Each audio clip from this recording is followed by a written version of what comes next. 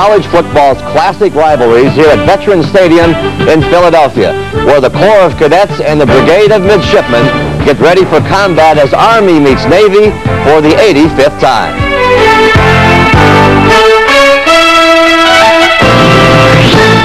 Welcome to a football basketball doubleheader here on CBS Sports. Now, after Army and Navy go through their maneuvers, we'll have NCAA basketball. All-America Wayman Tisdale leads Oklahoma against number seven Illinois. But first, it is football. The final Saturday of the regular season, the day in which we'll find out the answers to some season-long questions, such as who will host the Cotton and Sugar Bowls.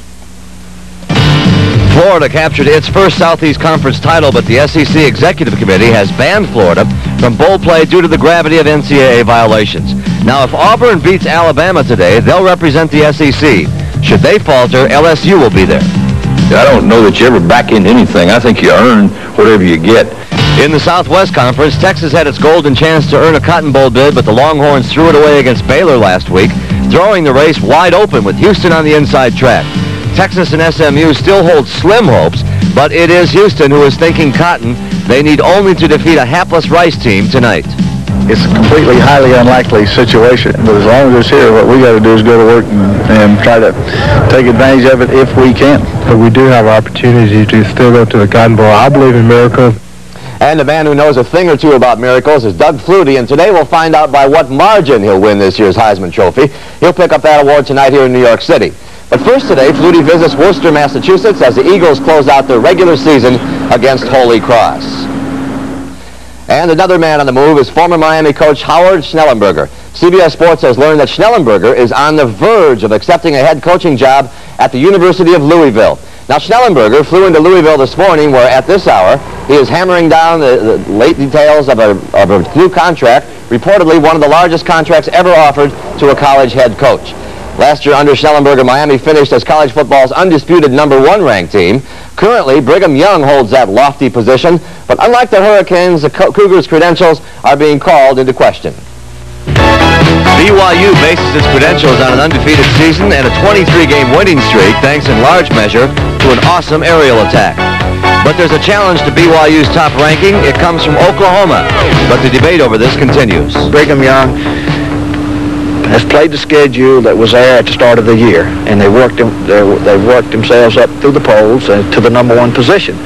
And some other teams occupied that, and they, they got knocked off. And, and Brigham Young was voted number one, and I see no reason why, if they win, that they shouldn't be the number one team in the nation. But the critics claim BYU has played a soft schedule. The Cougars are in a relatively weak Western Athletic Conference, and there was not a top 20 opponent all season long. Oklahoma, like BYU, easily defeated both Pitt and Baylor, but the rest of their schedule put them against powerhouses like Nebraska and Texas. When we play Washington, we've played three number ones, we've played number two, we've played, uh, you know, I don't know, uh, uh, uh several top teams. I, I, looked at top 20 uh, this week, and I said, Brigham Young hasn't played a team in the top 20. They won't play one the bowl game in the top 20. We are 12 and 0. We have uh, 23 and 0 over a two-year period we have beaten everybody we played. Uh, other teams have not. So I would say yes, we, we, we do have every legitimate claim to it. This week, we asked college coaches, is BYU number one if they beat Michigan? Some said they'd wait till New Year's. Most agreed 13 and 0 equals number one. The proof is in the pudding, and what they have done, they have taken on all of their opponents. They have whipped them all thus far, and based on that, I think they should be number one. While that debate continues, coming up here on CBS, Army versus Navy. Coming up next on CBS, Ara Parseghian and I will see you at halftime. Enjoy the ball game. From the United States Naval Academy, on the banks of the Severn River at Annapolis, Maryland, the products of the brigade continue, such as Admiral Richard E. Byrd, Admiral Chester Nimitz, Admiral Bull Halsey, President Jimmy Carter, the Brigade of Midshipmen.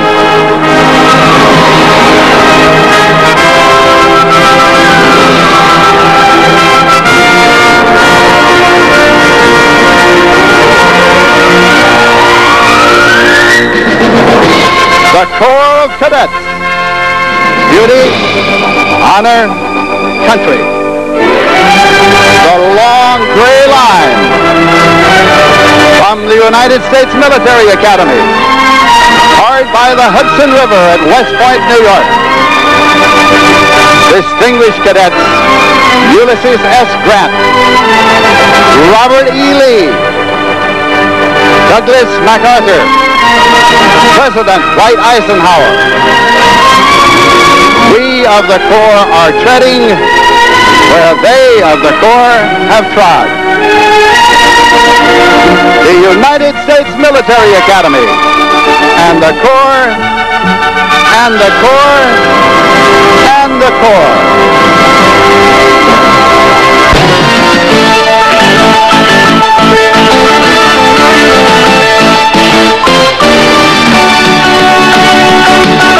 Words about the Army-Navy game from some who will participate. It really comes down to this game, uh, whether our season's a great one or not. The emotion at school among the whole brigade is incredible. Uh, a tough battle. Uh, no one's going to give up until the end. Both teams uh, fight as hard as they can. It's more like a spectacle, and it's uh, it's a really important game. I hope that I can take away tomorrow the, uh, the win and uh, a memory for the rest of my life. So it's the 85th Classic, Army versus Navy, live from Veterans Stadium in Philadelphia, Pennsylvania.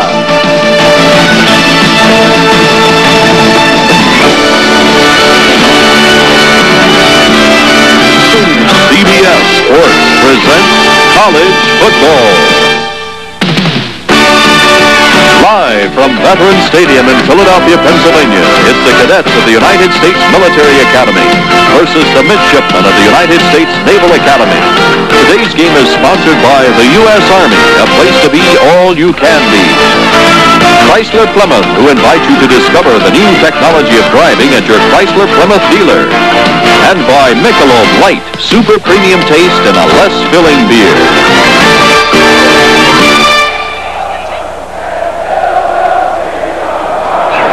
Cadets of Army and the midshipmen of Navy meeting at Veterans Stadium in Philadelphia. A series that began in 1890 by virtue of supremacy during the last decade. Navy has a slight lead in the series. Hello, everybody. I'm Lindsey Nelson with Pat Haden. We want to talk about these two teams. First, about Army. Army, Pat, established a little bit of credibility early in the year with a tie against Tennessee. Well, the Army has had a marvelous year. They've gone to the wishbone attack, and all they've done is lead the nation in rushing. They're going to their first bowl game this year. They're the average 337 yards on the on the ground. They are really excited around the academy. They are, they say, one if by land because they are leading in rushing. How, why did they go to the wishbone? Well, Jim Young, the head coach, feels it fits his personnel very well. He doesn't have a strong arm quarterback, doesn't have the big dominating offensive line, and he also realized how difficult it is to defend the wishbone. They play Air, the Air Force Academy, that, which uses the wishbone as well, and he thinks it gives his team an advantage. Now the Navy team, they had an exciting season, an exciting game against Notre Dame. They did everything but beat the Irish. Well, Notre Dame had to come from behind to beat them. As you recall, they kicked the field goal toward the end of the game. Now, Navy is also famous for trick plays as well, but they're an exciting team. While Army likes to run the football, Navy goes through the air. And of course, the final regular season game for Navy, they defeated the number two ranked team in the nation, South Carolina. And remember, they were such a very good football team. Some people say South Carolina was looking ahead, but the Navy played them awful tough. They went up by 31 points. They held them to 102 yards rushing. They say it's one of the biggest wins in Navy history. Navy, of course, had to battle back from some tough injuries. Well, you're right. They lost their big play performance. Napoleon McCallum, the All-American tailback, went down with a broken ankle. Then they lost their quarterback, Bill Byrne, with a broken leg. But they've still been able to move the football on all their opponents, and they played a very strong schedule. And so I've been impressed. Apparently, they had a good defense all year. Well, they did, and that was evidenced against South Carolina, where they did hold them to 102 yards rushing. It's an intelligent group up front that can confuse blocking schemes. That was the difference between us and South Carolina. All right, now, ladies and gentlemen, to honor America here at the Army-Navy game, our invocation and our national anthem. By Chaplain John J. Glynn of the U.S. Naval Academy, followed by the national anthem sung by Midshipman Third Class Joe Steffen, and accompanied by the combined bands of the two academies under the direction of Lieutenant Tom Metcalf.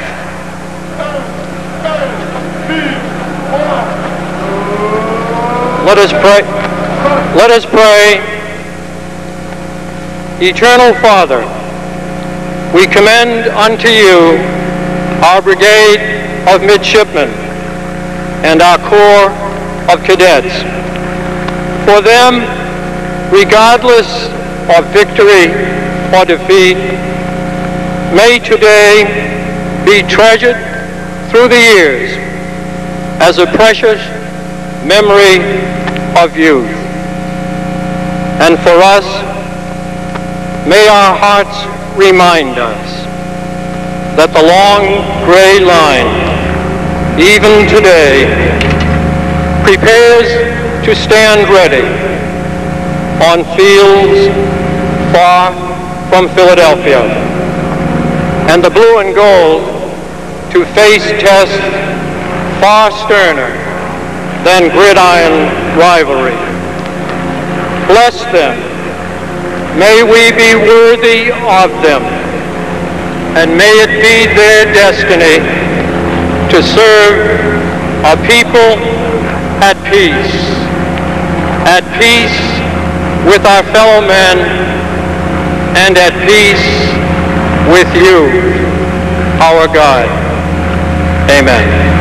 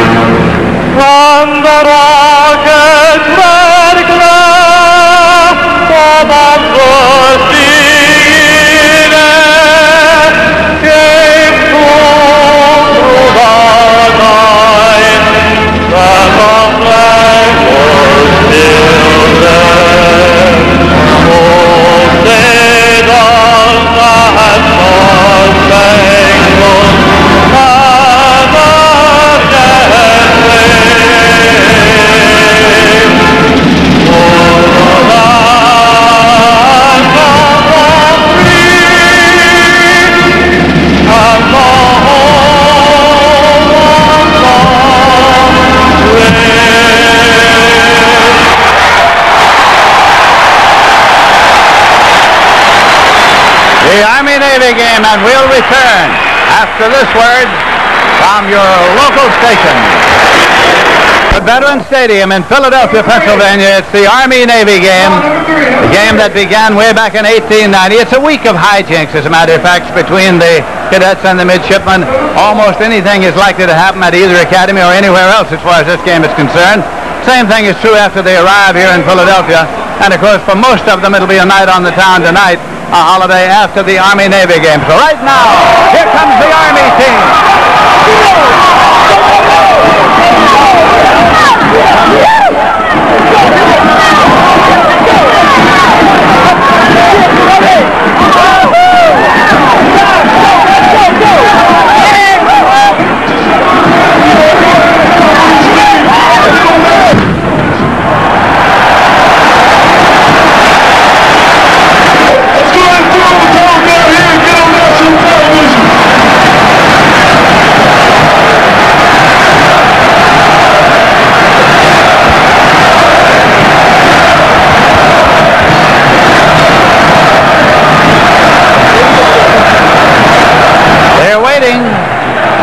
The midshipmen are waiting. And at any moment, you'll hear their reception from the brigade, and here comes the Navy.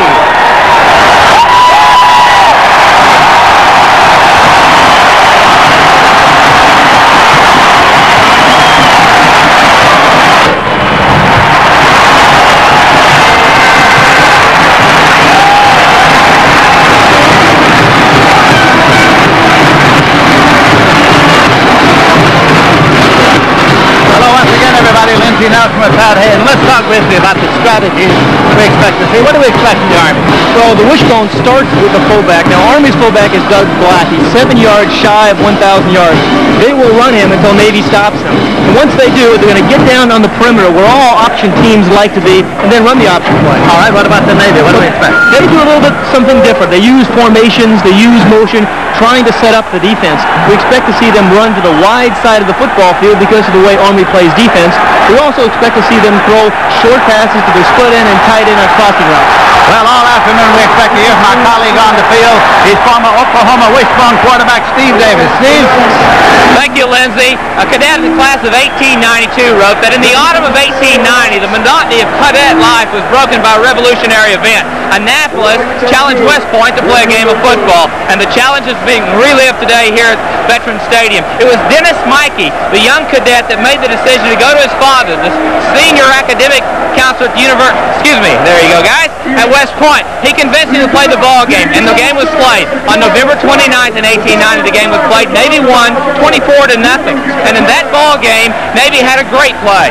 But later on, the next year in 1891, what happened was Army returned the favor. So the rivalry is relived here today. It's no doubt, Lindsey, the monotony is broken again.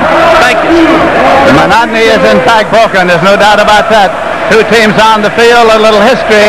The Army-Navy game in Philadelphia, and we'll be back with the kickoff in just a moment. Dad, do you have a minute? What's up? Dad, I'm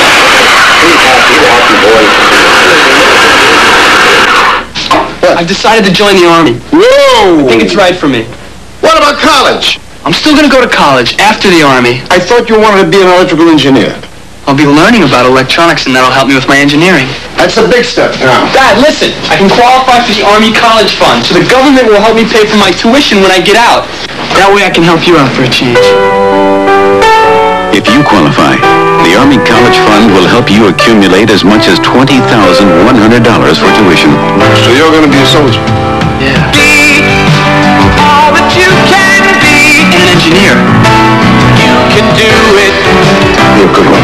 in the Army. Call for your copy of this free Treasury, and Olympic coins will still be valued when other gifts are collecting dust in the attic. Available at many locations or call this number toll free. Now there's the ball being brought in here in the manner of the Olympic court. Game balls were relayed all the way from West Point and all the way from Annapolis, brought here to the stadium. 162 miles from here to Annapolis, and they had over 100 midshipmen participate. Navy is the home team here this afternoon. Army the visitors. They alternate, of course. And now the game ball is being brought out. The referee here this afternoon is Joseph Klimshot. He awaits it. And they are being greeted. Those who relayed the football all the way to Philadelphia from the academy. The ball is delivered.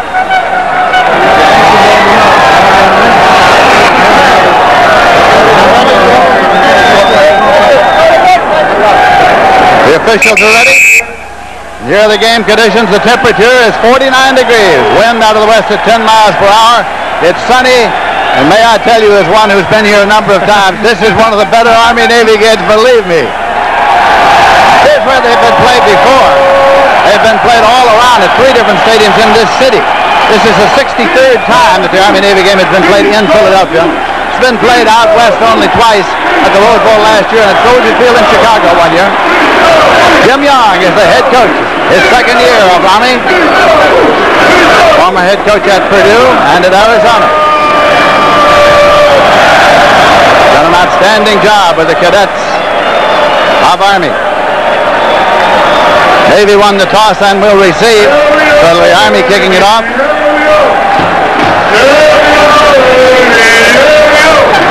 Gary Tranquill is the head coach of the Navy team. He is in his third year. Some looks at him during the course of the ball game. There he is right there. With the glasses and the cap. That's Gary Tranquill. He likes life at the Naval Academy. He's done an excellent job there. To kick it off, it's going to be Craig Stopa of the Army team and Steve Brady has dropped back deep along with Eric Wallace.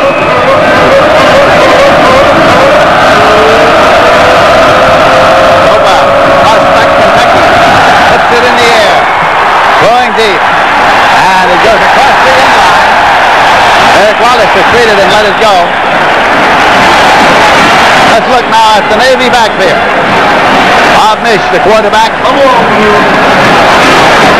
John Berner starting at fullback. Tailback is Rich Klaus. He's had an outstanding year. Ken Hine from Richmond is the flanker. And Chris Weiler, big man, is the split end. And Mark Stevens is the tight end. Ball was placed at the 30-yard line. Of course, because it went across the end line. First Navy play with Bob Mish running the attack. That's. And it's Bill Gable of Baltimore is that tackle. Mark Long of Phillipsburg, PA. Greg Sears of Jacksonville. Doug Rhodes of Duncanville, PA. And Rich Coombs of Miami Lakes, Florida. That's the offensive line of the Navy team. Second down, 10 yards to go. Ball at their own 30-yard line. Bob Mish, the quarterback. Rolling and looking and throwing to Riley. But grab. Incomplete. Incomplete. The move on the ball was made by Kermit McKelvey. Excited. It was a poor throw. Poor decision. Third down and 10 yards to go.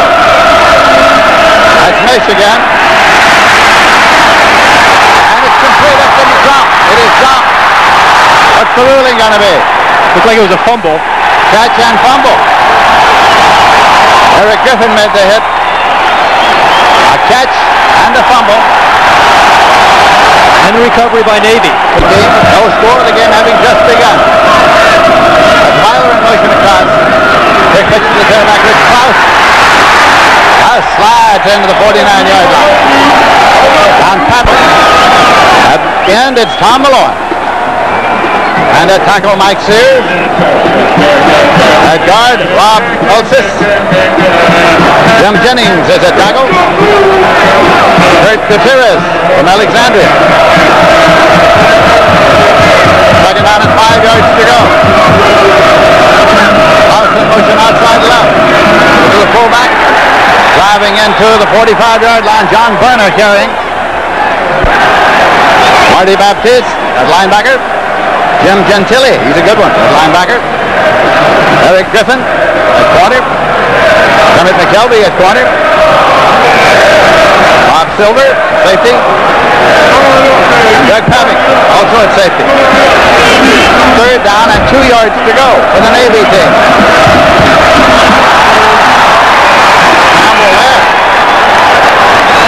Klaus has it about the line of scrimmage. You don't think these players are a little bit emotional out here, a little excited? I'll tell you what. Mark Colby comes in to do the punting now for Navy. He's averaged 37.9, his long 51 for the year. The Corps of Cadets. Navy feels they can block a punt. I mean, Army feels they can block a punt. Fair catch, fair catch at the 20-yard line. Ball was fair caught by Bob Silver. First and 10 at the 20. 27-yard punt. The Army offensive backfield. Their first possession, Nate Sassaman is the quarterback who runs the attack. Doug Black is the fullback, needing seven yards to go to a thousand. Jarvis Hollingsworth is at halfback. And Clarence Jones is at halfback. Scott Spellman is at split end. And Rob Dickerson is at tight end. Doug Black, the fullback carried. That's not surprising. The offensive line for the Army team.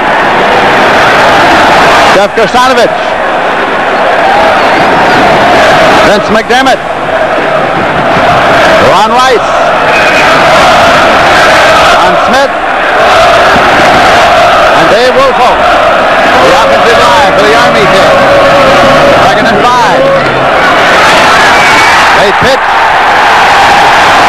Hollingsworth carried. The Navy defense now. Chad Van Helsen is at end. Bob Plants is at tackle. Dave Pembo is at Coast Guard. He alternates in uh, with Eric Rutherford, co-captain, is at right tackle, and he's a good one. Eric Third is at end. Third down and a yard to go. Played two years of intramural football. He was cut his freshman year there at Army. But Just as we expected, Lindsey, Army's going to come out and establish the fullback, force Navy to take that fullback away. They ran three plays there. Doug Black, the fullback, carried on two of them. So it's first down and 10 yards to go. Army at their own 33-yard line. Black had just rushed over a 1,000 yards, 1,001. There's Jones that time, and he moved it up to the 37-yard line. Black is only the fourth Army back to go over a 1,000 yards in Army history in 1968, Charlie Jarvis, 1981, Gerald Walker, 1954, Tommy Bell. You know, the amazing thing to me, Lindsey, is that Doc Blanchard and Glenn Davis never did get a 1,000 yards. There it is. We just talked about Glenn Davis, 944 yards, and Blanchard had 718, and Doug Black, he's the fourth in Army history. Second and five the Army thing. Sassaman runs it and keeps it. Sassaman, who was a defensive back last year, moves it to the 50-yard line. Tom Metzger there. You see the big rib pads that Nate Sassaman is wearing right there. He cracked three ribs about three weeks ago and did not play a whole lot the last couple of weeks, but he's back. And he's their fiery leader. Here, this time they fake to the fullback. He read the option play beautifully. Then he gets to the corner. Remember, they're going to set up the option play after they've established the fullback. First down and 10 yards to go at the 50-yard line. Quick handoff and a quick pile-up. Jim Dwyer. Finley Park is the linebacker. Mike Taylor, he's a good one, that linebacker. Steve Brady is at corner. Tom Metzger is at corner. Mark Daly is a safety. And Joe Papetti is a safety. Second down and nine yards to go for the Army team. No score first quarter. Sassaman kept the ball. Know, it's amazing. We just talked about Doc Blanchard. What reasons for that, Lynn? They didn't. Well, they didn't play 11 games. I think they only played nine in those days. That's very true. And Blanchard and Davis were in the same backfield, so they were splitting points up pretty well. They were still pretty good. Don't fool yourselves, right? They won the Heisman Trophy back to back.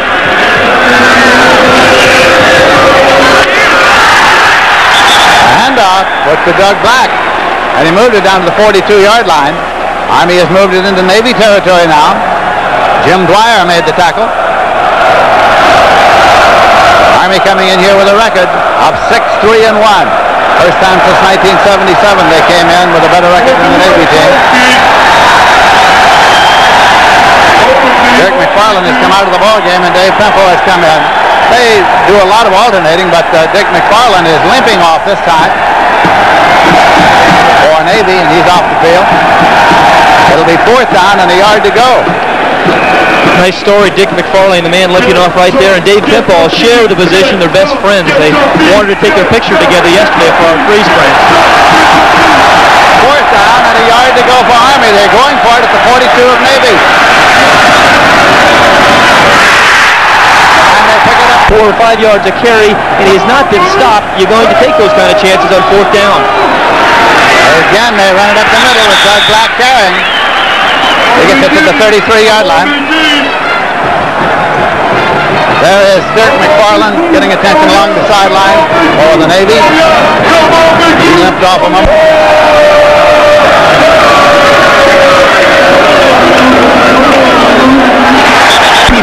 is going to have to take that fullback away. Back is carried seven pass for 24. Sassaman throwing. And it's complete. Near the 20-yard line to Clarence Jones, the halfback. Well, we see Army obviously is a running team. They switched the wishbone a year ago. It's made all the difference for them.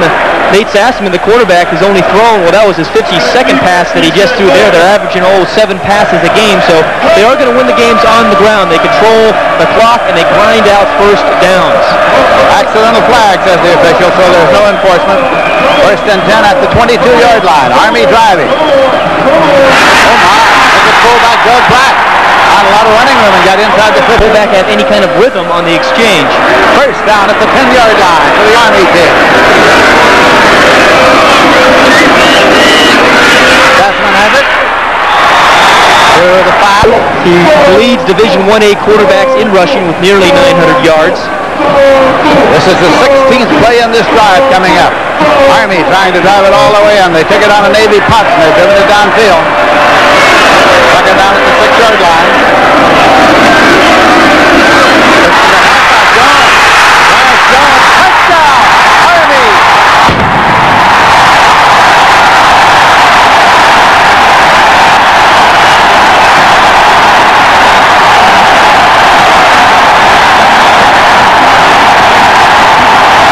A tradition there. The cadets out and do push-ups after the is fired. They've been scoring a lot of points this year, so those guys do an awful lot of push-ups. Greg Stopa will attempt the conversion. He is 15 for 17 during the season. Six minutes, 21 seconds remaining to be played in the first quarter.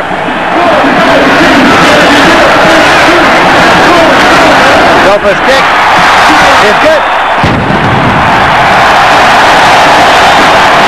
And Army has gone out in front by a score of seven to nothing. The wishbone really forces you to play a very disciplined defense. Now, Army, remember, they ran Doug Black, the fullback, oh, five or six straight times. Then they came out and faked to him and, set, and pitched the ball to Clarence Jones. That's why it's so difficult. Three or four Navy defenders there were concerned about Doug Black. But think about this drive. It was a 16-play drive. There was only one pass the entire drive. Doug Black did most of the damage. We saw Sassaman carry the ball a couple of times. The culmination, the option play to Clarence Jones, and that's six points. So the Army team has driven 80 yards. They consumed 6 minutes, 7 seconds, and they lead it 7 to nothing.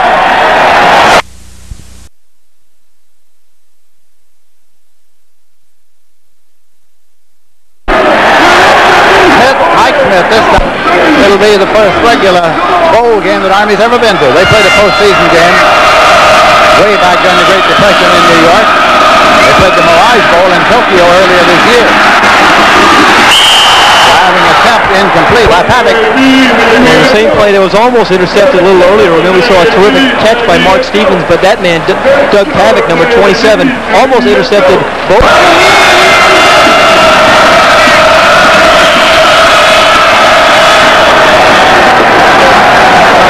Four minutes, 19 seconds remaining to be played. A timeout is taken here. Timeout is taken by the Navy team. It's 14 to 3, Army leading. Effort makes winners. Be all you can be. Brought to you by the U.S. Army. Army quarterback Nate Sassaman is a true scholar athlete. A Dean's List student, Sassaman excels in the rigorous political science program at West Point. But on Saturday afternoons, Nate also stands out on the gridiron as the senior trigger man in the cadets' explosive wishbone attack. A leader on the field and off, Nate Sassaman strives to be the best he can be. Inside the 40. Chuck Smith gathered it in. That's going to bring up a fourth down. Well, we were away at a commercial. They ran the wave here. I've seen some lousy waves this year, but uh, somehow it seems appropriate that the Navy's doing the wave here. They did a very nice job with the, with the wave the Navy did. If the Navy can't do the wave, we're all in hell. That's right. Now, if the Army can't go rush on the ground, go on the ground, we're in trouble. Fourth and six, and Navy's going for it, trailing 14 to 3. Fourth and six at the 39. Complete. Stevens, Stevens to the five-yard line. Ball gets away into the end zone. Touchback, touchback. No points. It's Griffin on the ball. It'll be brought out to the 20-yard line. First and 10 to score remains. Army 14, Navy 3. McKelvey made the hit. That shook it away. Oh my, that's the second time that has happened to Mark Stevens here today. A beautiful read by Bob Misch, the quarterback. Double coverage on the outside. It's a fourth and six situation. What do you do? You try to get the ball to the tight end. Now Mark Stevens had caught a couple of short passes. There he catches the deep one. He's not securing the ball. He doesn't see the blind side, the hit from the backside. The ball pops loose. It's in the end zone, and that's a big play for the Army defense. So it'll be at the 20-yard line.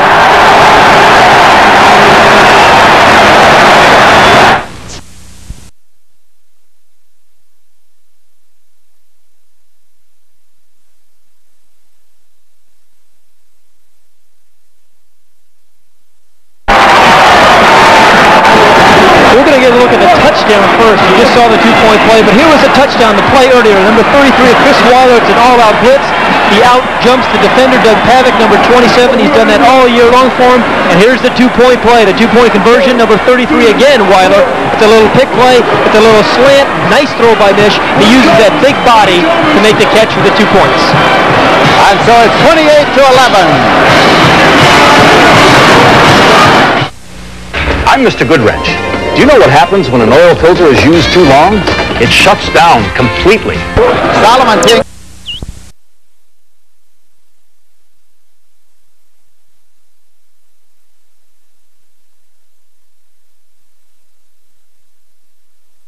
has 993 yards rushing on the season. Got the hand off to Black. We got a couple of yards. Second down and about eight. Army's rushed the ball 78 times for 403 yards. Army came into the game with a record of 6-3 and 1. Looks as though they'll finish the regular season 7-3 and 1. What a day he's had. A young man from Texas, a Navy man injured on the play, so this is an injury delay on the field at the moment. It's a happy gang of Army cadets from the United States Military Academy.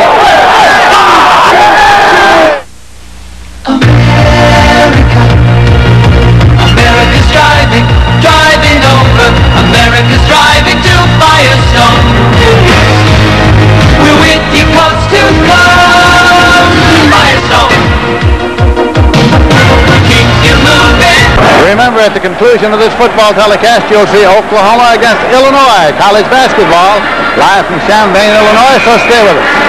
One minute, 36 seconds left to play in the Army-Navy game. Army has the ball, second out, eight yards to go at the Navy 38. Army is leading by a score of 28 to 11. Tom Perry's in that backfield now. Sassaman. Sassaman inside the 30-yard line. Stopped by Dwyer. Thanks to spotter Bill Friel and statistician Roger Rowley for their time work in the booth this afternoon. Ball is spotted out there now just inside the 30. Sassaman now has 1,002 yards on the season, so he's the fifth back in Army history to go into the 1,000-yard club. Black did it earlier in the day, and now Sassaman does it. Bryant's in that backfield now for Army.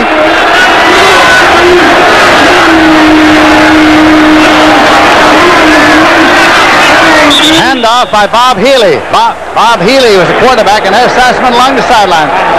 He got a thousand, and he's out of the ball game now. Healy handed uh, off on the last play. That really is a great achievement for a quarterback to rush for a thousand yards, particularly all the beating that a wishbone quarterback does. It, my hats off to Nate Sassaman, his senior year, his last football game. Quite a game it was.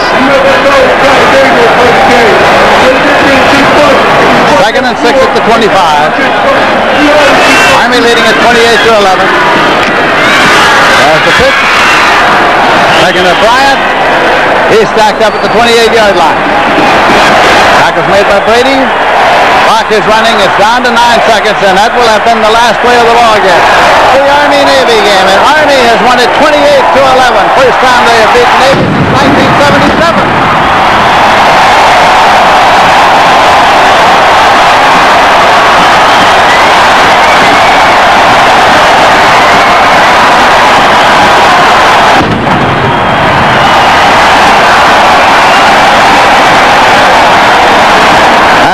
Return after this word from your local station. The 85th Army-Navy game is history. The executive producer of college sports is Kevin O'Malley. Today's coverage produced by Rick Lasavito, directed by Joe Aceti. Our associate producer, Robert Martino. Associate director, Scott Johnson. And all the people whose fine work made this telecast possible here in Philadelphia this afternoon. It was a day that Army went out and fought early. Army came into the ballgame knowing they had not won since 1977, knowing they had already accepted a bowl bid to appear in the Cherry Bowl. They wanted it badly. They got out in front, and they stayed out in front throughout the entire ballgame to win it by a score of 28 to 11. This has been the final college football telecast of the regular season for CBS Sports. And we have a final thought from all of us. Today we have seen the Army-Navy game. I doubt that there was a pro scout here. The mission of the players here this afternoon was to play this extracurricular game the very best they could with the enthusiastic support of all their colleagues. And tomorrow, to serve their country in the very same way. This has been college football and perhaps its purest form. The 85th annual Army-Navy game with the final score once again, Army 28, Navy 11. This has been a presentation of CBS Sports.